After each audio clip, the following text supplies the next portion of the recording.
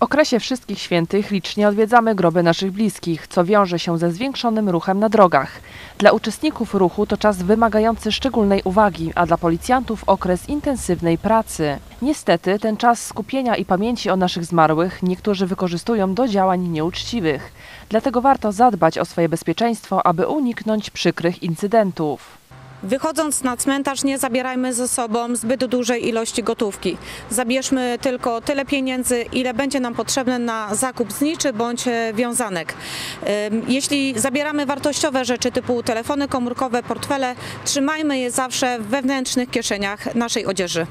Porządkując groby naszych bliskich, nie pozostawiajmy torebek bądź e, ubrań wierzchnich w miejscach ogólnodostępnych, gdyż może to stworzyć okazję złodziejowi do zabrania czy kradzieży naszych e, wartościowych przedmiotów.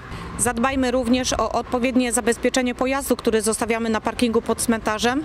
Również apelujemy o to, aby nie pozostawiać na widoku wartościowych rzeczy.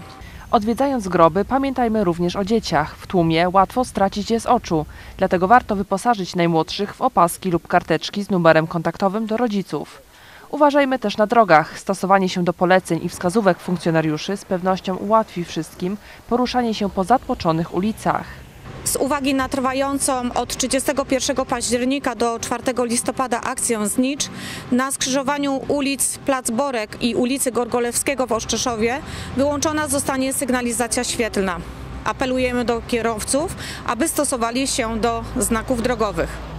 Jutro, czyli 1 listopada, w newralgicznych momentach przy cmentarzach służbę pełnić będą również funkcjonariusze, którzy kierować będą ruchem.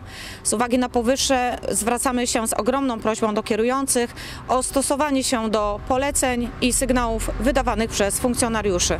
Pamiętajmy, że o nasze bezpieczeństwo dbają służby, ale w dużym stopniu zależy ono od naszej rozwagi i uwagi.